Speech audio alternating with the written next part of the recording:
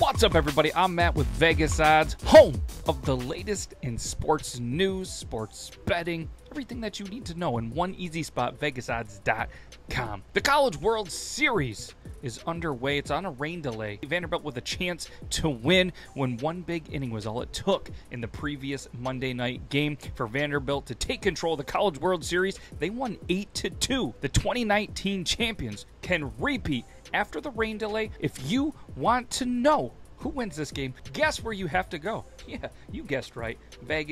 VegasOdds.com. Tokyo 2020 Olympics. Going to be a couple of new sports. You got climbing, surfing, and skateboarding are among some of the new sports. Opening ceremony is going to take place at the Japan National Stadium on July 23rd. So if you want to watch, it live. You can check it out on NBC. A little bit of some breaking news in the NFL.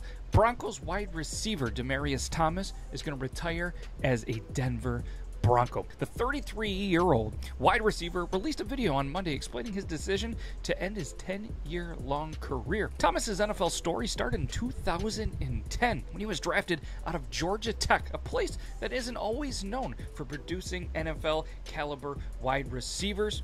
And the Denver Broncos, a team where he's achieved practically all of the highlights of his career, he is going to retire as one. I think it's a super special thing for him and for the organization. So, congratulations Demaryius Thomas, on your retirement. In other NFL news, Trevor Lawrence is not ready yet, says Jaguars coach Urban Meyer. The Jacksonville Jaguars had the worst record in the 2020 NFL season with only one win in 16 games. That's still kind of up in the air who is going to be there, and I think it's a very smart thing by the Jaguars and coach Urban Meyer, who knows the game just as well as anybody in the business, to not pressure, to not force them into anything too early. Let's continue with some NFL news as we have another story here. Retired quarterback Alex Smith predicts that Dak Prescott's resurgence is going to happen this year. The 2020 NFL Comeback Player of the Year believes good days are ahead for Dallas Cowboys quarterback Dak Prescott. Alex Smith, who had spent two years off the field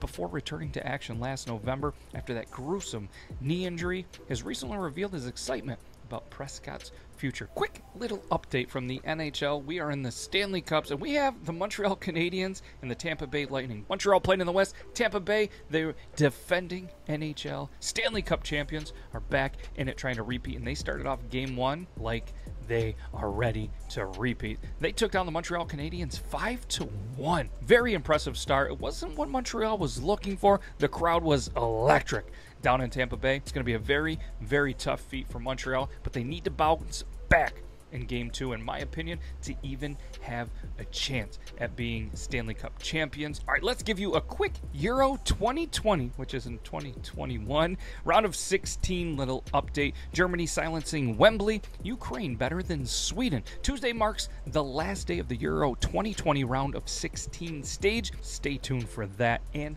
you should probably check out the odds on that. They may surprise you, and I'm super excited to see who's going to advance to the round of eight. Euro 2020, and I'm Matt with Vegas Odds. I can't thank you guys enough for taking some time out of your busy day to come in here and get caught up in all of the latest news in the sports industry. Make sure you guys stay safe, stay informed.